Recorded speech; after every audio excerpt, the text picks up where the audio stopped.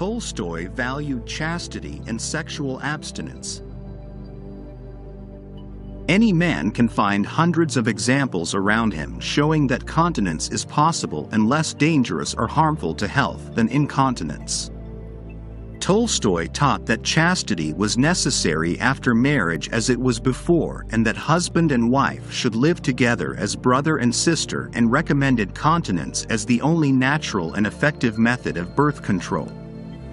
He advised abstinence from meat, alcohol, and all stimulating foods and drinks and a life of hard labor, which would use up bodily energy and thus reduce the excessive sexualism of the idle rich who live on a highly stimulating diet of animal foods.